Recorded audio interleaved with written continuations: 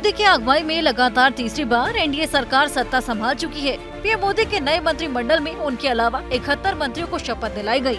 इनमें 30 कैबिनेट मंत्री शामिल हैं। मोदी 3.0 सरकार में ओबीसी के 27, एससी के 10, एसटी के 5 और अल्पसंख्यक समुदाय से 5 मंत्रियों को शामिल किया गया है। हालाँकि मुस्लिम समुदाय से किसी भी चेहरे को जगह नहीं मिली। इसके अलावा क्षेत्रीय समीकरण का भी ध्यान रखा गया। दक्षिण के राज्यों से भी मंत्री बनाए गए हैं। साथ ही उन राज्यों पर भी खास ध्यान दिया गया, जहाँ कुछ महीनों में चुनाव होने वाले हैं। इसी साल हरियाणा में चुनाव होना है, जहाँ पर बीजेपी पिछले 10 साल से लगातार सत्ता में है। पिछली बार लोकसभा चुनाव में बीजेपी को सभी 10 सीटों पर जीत मिली थी। हालाँकि इस बार उसे झटका लगा है और महज पाँच सीटों से ही संतोष करना पड़ा। लेकिन विधानसभा चुनाव साधने के लिए हरियाणा से तीन मंत्री बनाए गए हैं। वहीं बीजेपी ने मध्य प्रदेश में ऐतिहासिक जीत हासिल की। पिछली बार पार्टी की उनतीस में 28 सीट पर जीत हुई थी। लेकिन इस बार बीजेपी ने सभी उनतीस सीटों पर जीत हासिल की। लिहाजा वहाँ से छह मंत्रियों को मंत्रिपरिषद में जगह दी गई है, जिसमें हैवी वेट शिवराज सिंह चौहान भी शामिल है। उन्हें कैबिनेट में भारी भरकम मंत्रालय मिलने की उम्मीद है। अपने महान राष्ट्र की सेवा करने का अवसर मुझे प्रधानमंत्री जी ने दिया है। उनके नेतृत्व में भारत नई ऊंचाइयाँ छुएगा। और मेरा अपना विश्वास है कि भौतिकता की अग्नि में दग्ध विश्व मानवता को शाश्वत शांति के पथ का दिग्दर्शन कराएगा। दिन और रात अपनी संपूर्ण क्षमता के साथ परिश्रम करके, अपने देश के लिए और अपनी जनता के लिए, प्रधानमंत्री जी के मार्गदर्शन में और नेतृत्व में बेहतर से बेहतर करने का प्रयास करेंगे। यूपी में इस बार बीजेपी को झटका ज़रूर लगा, लेकिन पार्टी ने सबसे बड़े राज्य से सबसे ज़्यादा मंत्री बनाने का फैसला लिया, जिसमें जातीय समीकरण और सहयोगी दलों की हिस्सेदारी का भी ख्याल रखा गया। राजपूत समाज से दो मंत्री राजनाथ सिंह और कीर्तिवर्धन सिंह को बनाया गया। ब्राह्मण समाज से एक मंत्री जितिन प्रसाद को बनाया गया। सिख समाज से एक मंत्री हरदीप सिंह पुरी को बनाया गया, जो यूपी से राज्यसभा सांसद है। जाट समाज से एक मंत्री जयंत चौधरी को बनाया गया, जो सहयोगी दल आरएलडी से आते हैं। राज्य मंत्री स्वतंत्र प्रभार कुर्मी समाज से दो मंत्री अनुप्रिया पटेल और पंकज चौधरी को बनाया गया। लोधी समाज से एक मंत्री बीएल वर्मा को बनाया गया।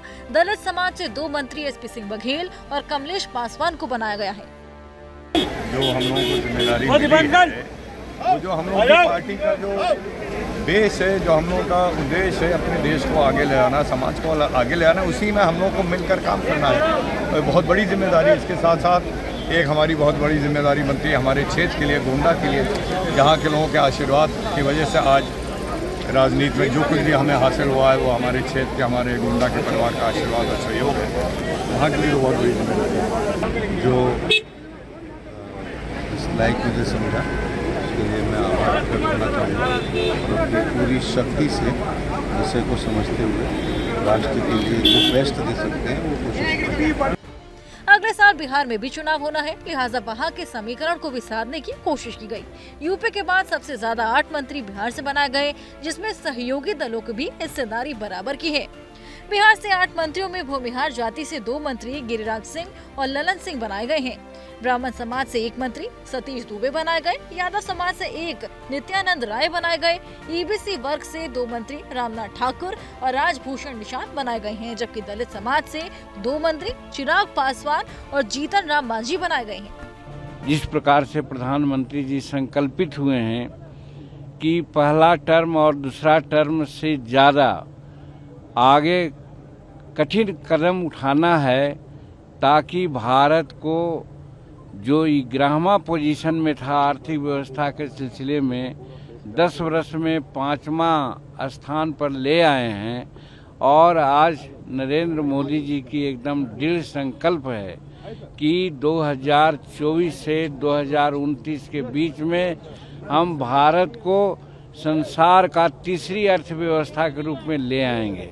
इस महाराष्ट्र में भी इस साल चुनाव होने वाले हैं, लिहाजा वहाँ का भी ध्यान रखा गया।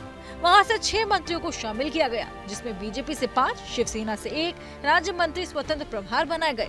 हालाँकि तीसरे सहयोगी एनसीपी को भी एक स्वतंत्र प्रभार का राज्य मंत्री का ऑफ़र दिया गया। लेकिन पार्टी ने इन वक्त पर मंत्री बनाने का फैसला टाल दिया। एनसीपी की तरफ़ से कहा गया कि पार्टी की तरफ़ से प्रफुल्ल पटेल को कैबिनेट में शामिल करने की मांग रखी गई।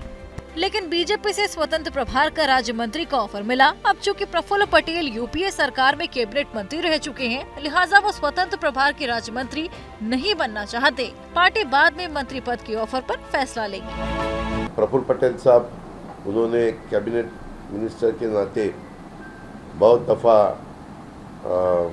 सेंट्रल में काम किया है और कैबिनेट मिनिस्टर होते हुए फिर इंडिपेंडेंट चार्ज लेना हमें ठीक नहीं लगा।